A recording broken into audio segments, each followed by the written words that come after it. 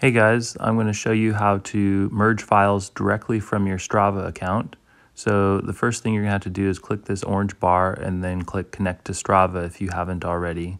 And you will have to authorize GoToes. You may also have to sign in on your Strava account if you're not already signed in.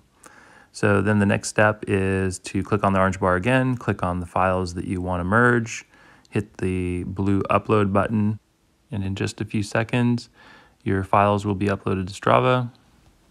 You can make some changes to the merge if you want, or you can just click on the send to Strava checkbox, type in a name if you want, and then hit the big blue button that says to combine the files.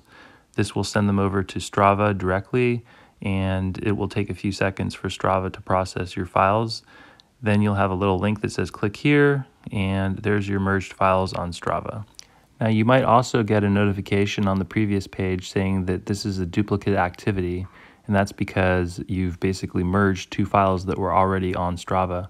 So one option in this case is for you to go find the duplicate activity and delete it. GoToes will tell you where the duplicate resides, so you can just click that link like I just did, and that will take you to the file. And then all you have to do is scroll down to the delete link, hit delete.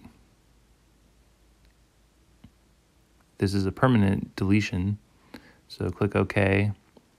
And now hit your browser's back button and you want to go back to the page you were on on GoToes and then hit refresh. So those files are stored in memory and it will process them again, but this time when you try to upload it to Strava, there won't be a duplicate copy of your original files and it'll let you right through.